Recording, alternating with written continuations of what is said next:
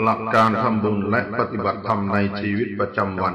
พระราชกิจจาภรณ์เทิดยานวชิโรคำนำผู้เขียน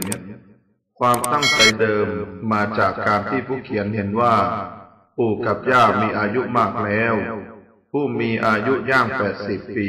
ไม่ต่างอะไรจากไม้ใกล้ฝั่ง จึงคิดจะให้ปู่กับย่ามีธรรมะได้อ่านได้ฟัง จะได้เป็นที่พึ่งทางใจยามวัยชรา โดยมีความมุ่งหวังว่า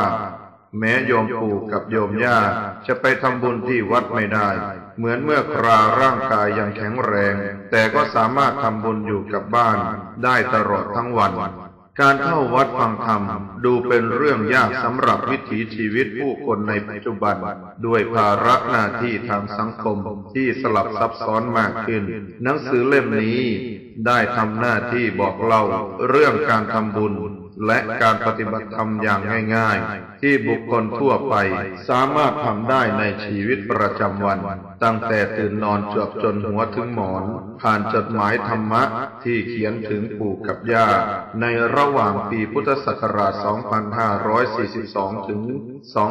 2546 เหมาะสำหรับการดำเนินชีวิตในสังคมปัจจุบันอยู่ที่บ้าน หรือที่ทำงานก็สามารถทำบุญได้ครบ ทั้งทาน ศีล และภาวนา รับมหาเทิดยานวชิโร มกราคม วันเริ่มต้น ปีพุทธศักราช 2547